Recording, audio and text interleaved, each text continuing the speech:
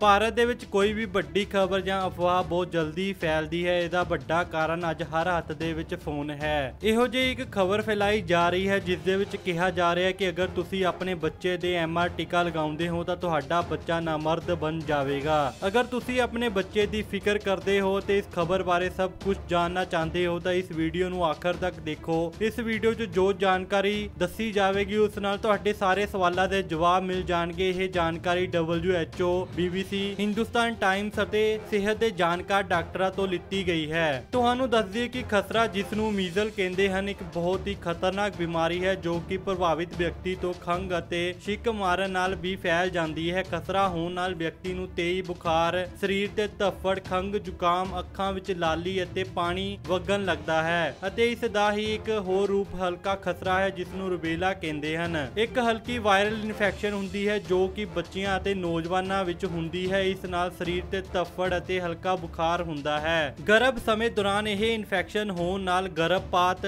ਸਮੇਂ ਤੋਂ ਪਹਿਲਾਂ ਬੱਚੇ ਦਾ ਜਨਮ ਅਤੇ ਜਨਮ ਮੌਕੇ ਬੱਚੇ ਵਿੱਚ ਕਈ ਜਮਾਂਦਰੂ ਬਿਮਾਰੀਆਂ, ਜਿਵੇਂ ਕਿ ਅੰਨਾਪਨ ਬਹਿਰਾਪਨ, ਦਿਲ ਦੀ ਬਿਮਾਰੀ ਆਦਿ ਹੋਣ ਦਾ ਡਰ ਰਹਿੰਦਾ ਹੈ। ਇਹ ਬਿਮਾਰੀ ਕਿੰਨੀ ਖਤਰਨਾਕ ਹੈ, ਤੁਸੀਂ ਇਸ ਦਾ ਅੰਦਾਜ਼ਾ ਇਸ ਗੱਲ ਤੋਂ ਲਗਾ ਸਕਦੇ ਹੋ ਕਿ 2015 ਦੇ ਵਿੱਚ 46000 ਤੋਂ ਵੱਧ ਬੱਚੇ ਭਾਰਤ ਦੇ ਵਿੱਚ ਇਸ ਬਿਮਾਰੀ ਨਾਲ ਮਰ ਗਏ, ਜਿਸ ਦਾ ਮਤਲਬ ਹੈ ਕਿ ਇੱਕ ਘੰਟੇ ਵਿੱਚ 5 ਬੱਚਿਆਂ ਦੀ ਮੌਤ। ਹੁਣ ਇਸ ਦੇ ਵਿੱਚ ਜੋ ਖਬਰ ਫੈਲਾਈ ਜਾ ਰਹੀ ਹੈ, ਉਸ ਦੇ ਵਿੱਚ ਇੱਕ ਡਾਕਟਰ ਦਾ ਨਾਮ ਲਿਖ ਕੇ ਕਿਹਾ ਜਾ ਰਿਹਾ ਹੈ ਕਿ ਅਗਰ ਐਮਆਰ ਟੀਕਾ ਤੁਸੀਂ ਆਪਣੇ ਬੱਚੇ ਨੂੰ ਲਗਾਉਂਦੇ ਹੋ, ਤਾਂ ਤੁਹਾਡਾ ਬੱਚਾ ਨਾਮਰਦ ਬਣ ਜਾਵੇਗਾ। ਖਾਸ ਕਰਕੇ ਇਹ ਖਬਰ ਪੰਜਾਬ ਦੇ ਵਿੱਚ ਸਿੱਖਾਂ ਦੇ ਬੱਚਿਆਂ ਨੂੰ ਨਿਸ਼ਾਨਾ ਬਣਾ ਕੇ ਫੈਲਾਈ ਜਾ ਰਹੀ ਹੈ। ਇਹੋ ਜਿਹੀ ਇੱਕ ਖਬਰ ਭਾਰਤ ਦੇ ਵਿੱਚ ਮੁਸਲਮਾਨਾਂ ਦੇ ਬੱਚਿਆਂ ਨੂੰ ਨਿਸ਼ਾਨਾ ਬਣਾ ਕੇ ਵੀ ਫੈਲਾਈ ਜਾ ਰਹੀ ਸੀ। ਜਿਸ ਦੇ ਵਿੱਚ ਕਿਹਾ ਜਾ ਰਿਹਾ ਸੀ ਕਿ ਮੁਸਲਮਾਨਾਂ ਦੇ ਬੱਚਿਆਂ ਨੂੰ ਨਾਮਰਦ ਬਣਾਇਆ ਜਾ ਰਿਹਾ ਹੈ। ਪੰਜਾਬ ਦੇ ਵਿੱਚ ਮੁਹਿੰਮ ਦੇ ਸ਼ੁਰੂ ਹੋਣ ਤੋਂ ਪਹਿਲਾਂ ਹੀ ਸੋਸ਼ਲ ਮੀਡੀਆ ਤੇ ਇਹ ਅਫਵਾਹ ਫੈਲਾ ਦਿੱਤੀ, ਜਿਸ ਤੋਂ ਬਾਅਦ ਇਹ ਸੰਦੇਸ਼ ਪੜਨ ਤੇ ਕਈ ਮਾਪਿਆਂ ਨੂੰ ਚਿੰਤਾ ਨੇ ਘੇਰ ਲਿਆ। ਪਰ ਤੁਹਾਨੂੰ ਦੱਸ ਦਈਏ ਕਿ ਇਹ ਦਵਾਈ ਬੱਚਿਆਂ ਲਈ ਬਿਲਕੁਲ ਸੁਰੱਖਿਅਤ ਹੈ। ਦੇਸ਼ ਦੇ 13 ਸੂਬਿਆਂ ਵਿੱਚ ਹੁਣ ਤੱਕ 7 ਕਰੋੜ ਤੋਂ ਵਧੇਰੇ ਬੱਚਿਆਂ ਨੂੰ ਇਹ ਟੀਕਾ ਲਗਾਇਆ ਜਾ ਚੁੱਕਾ ਹੈ। ਹਾਲੇ ਤੱਕ ਕਿਸੇ ਵੀ ਬੱਚੇ ਨੂੰ ਕਿਸੇ ਤਰ੍ਹਾਂ ਦੇ ਸਾਈਡ ਇਫੈਕਟ ਦੀ ਕੋਈ ਖਬਰ ਨਹੀਂ ਹੈ। ਟੀਕਾ ਲਗਾਉਣ ਉਪਰੰਤ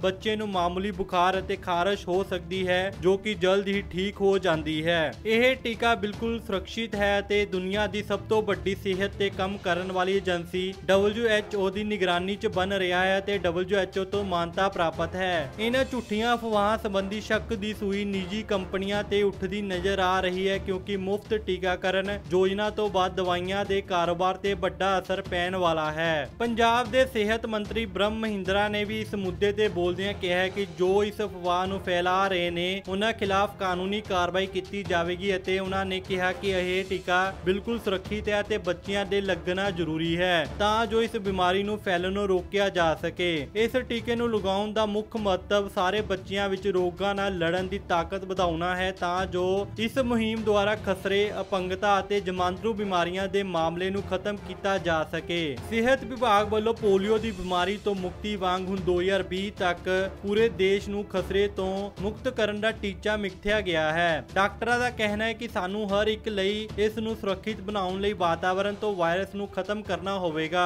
ਮਾਪਿਆਂ ਦੀ ਡਿਊਟੀ ਬਣਦੀ ਹੈ ਕਿ ਉਹ ਆਪਣੇ ਬੱਚਿਆਂ ਨੂੰ ਸਿਹਤਮੰਦ ਰੱਖਣ ਲਈ ਟੀਕਾਕਰਨ ਜ਼ਰੂਰ ਕਰਵਾਉਣ। ਸਰਕਾਰ ਵੱਲੋਂ ਜੋ ਦਵਾਈਆਂ ਭੇਜੀਆਂ ਜਾ ਰਹੀਆਂ ਹਨ, ਉਹ ਕੁਆਲਿਟੀ ਪੱਖੋਂ ਬੇਮਿਸਾਲ ਹਨ।